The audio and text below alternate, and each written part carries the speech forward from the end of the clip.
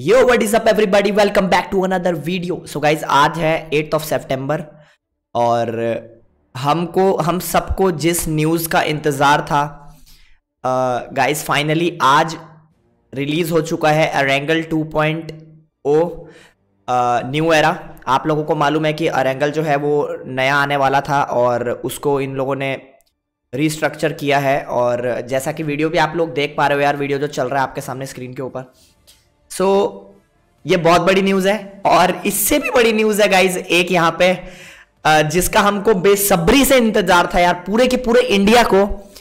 और मैं जब अभी उठा सुबह मैंने मैं क्या कर रहा हूँ यार चार पाँच दिन से पिछले उठते ही ना सुबह सर्च करता हूँ यूट्यूब पर जाकर PUBG mobile unban news so guys आज मैंने जब PUBG mobile unban news search किया तो मुझे कुछ ऐसा मिला सबके साथ में शेयर करना करना चाहता हूँ वो चीज़ को।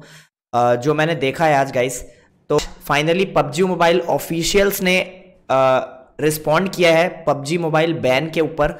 और उस पर आप कैसे देख सकते हैं? आप लोगों को जाना है गूगल क्रोम के ऊपर। गूगल क्रोम के ऊपर जाकर आपको लिखना है पबजी मोबाइल इंडिया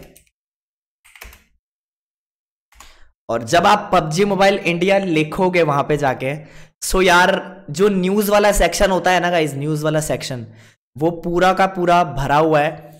और आप देख सकते हो यार 50 minute fifty eight minutes ago one hour ago 11 minutes ago सारे के सारे बड़े न्यूज़ चैनल्स इसके बारे में पोस्ट कर रहे हैं और जो कि पबजी मोबाइल इंडिया मतलब पबजी मोबाइल का जो कॉरपोरेशन है, जो पबजी मोबाइल का मेन वेबसाइट है, पबजी डॉट कॉम वहाँ पे रिस्पॉन्ड किया गया है पबजी मोबाइल बैन के ऊपर और क्या रिस्पॉन्ड किया उन लोगों ने? मैं आप सब लोगों के सामने दिखाना चाहता हूँ। पबजी डॉट कॉम वाले वेबसाइट को ओपन करोगे गाइस सो यहाँ पे पबजी ऑफिशियल्स ने अपना रिस्पॉन्ड किया है। तो इसमें उन लोगों ने क्या लिखा है कि जो पबजी मोबाइल इंडिया में बैन हुआ है सिक्योरिटी रीजंस की वजह से प्राइवेसी का इशू लगा था उनके ऊपर। और हमारी गवर्नमेंट ने डिसीज़न लिया तो यार हम सबको एक्सेप्टेड था, हम सब लोगों ने खेलना बंद कर दिया। और, अभी फाइनली उन लोगों ने रिस्पॉन्ड किया है कि वो ग्लोबल वर्जन फिर से इंडिया में नहीं लॉन्च कर रहे हैं। और इंडिया के लिए वो गाइज़ एक अलग से वर्जन बना रहे हैं पबजी मोबाइल का जो सिर्फ़ इंडिया में चलेगा वो ग्लोबल वर्जन नहीं होगा। मतलब इंडिया के लोग आपस में एक दूसरे के साथ खेल पाएँगे बट हम लोगों को हमारी जो गेम है वो वापस मिल जाएगी। सो so, ये एक बहुत बड़ी गुड न्यूज़ है गाइज़ ये बहुत बड़ी गुड न्यूज़ है।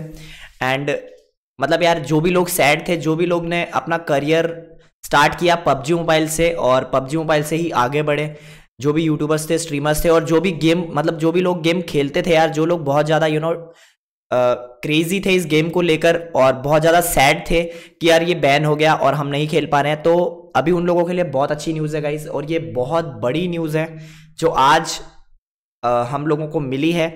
सो मेरे हिसाब से शायद आने वाले पंद्रह या दस दिन के अंदर मे भी ये गेम दोबारा से हम लोगों को मिल जाएगा।